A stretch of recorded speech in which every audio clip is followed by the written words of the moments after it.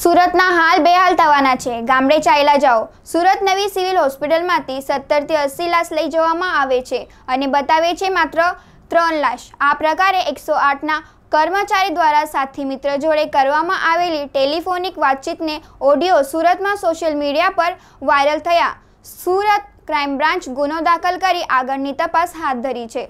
વર્ષ બે હજાર સત્રમાં સુરત ખાતે એકસો આઠ સેવામાં ફરજ બજાવતા રમેશ નામના ડ્રાઈવર પોતાના મિત્ર સાથે કરેલી ટેલિફોનિક વાતચીતમાં લોકોમાં વેમનશય અને ભય ફેલાવ તે પ્રકારનું કૃત્ય કર્યું હતું, જેમાં ઓડિયો ક્લિપ સુરતના સોશિયલ મીડિયા પર વાયરલ થતાં crime branch epidemic disease act હેઠળ ગુનો દાખલ કર્યો છે.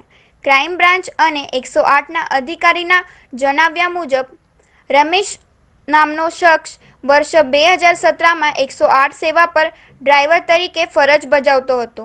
પરંતુ બાદમાં તેના વર્ણન કારણે તાત્કાલિક છૂટો કરી દેવામાં આવ્યો હતો. જ્યારે ઓડિયો વાયરલ થયો ત્યારે તેની તપાસ કરતા આ બાબતની જાણ થઈ હતી, જેથી લોકોમાં ખોટું વેમનશય અને ભય ના ફેલાય તે માટે તાત્કાલિક ધોરણે પગલાં ભરવા ક્રાઇમ બ્રાન્ચના ફરિયાદ આપવામાં આવી હતી, જે ફરિયાદના આધારે પોલીસે ગુનો નોંધી આગળની તપાસ હાથ ધરી છે. Satish Patel head of operations Gujarat, એકસો આઠ સર્વિસીસ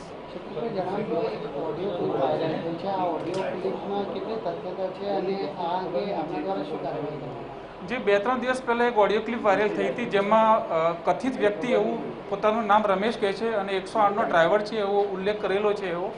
પણ જ્યારે અમે જાણ્યું અને તપાસ કરી તો એ એકસો આઠનો ડ્રાઈવર છે નહીં. હા, જૂનો ડ્રાઈવર તરીકે કામ કરતા હતા, પણ ત્રણ વર્ષ પહેલાં જ એને ગેરવર્તણૂકના હિસાબે એને સંસ્થામાંથી ટર્મિનેટ કરવામાં આવેલો હતો. અને જે કંઈ એ બોલે છે, એમાં કોઈ તથ્ય નથી. એકસો આઠના કોઈ પણ એમ્પ્લોય આ ટાઈપની વાત કરી પણ ના શકે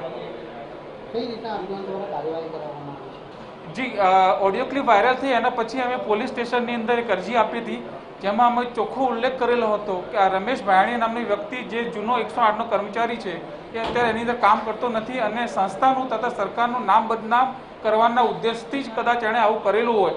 તો પોલીસ સ્ટેશનમાં અમે એક એપ્લિકેશન પણ આપી છે અને કાયદેસરની કાર્યવાહી કરવાની તરફેણ કરેલી છે. Bureau report TV nine India.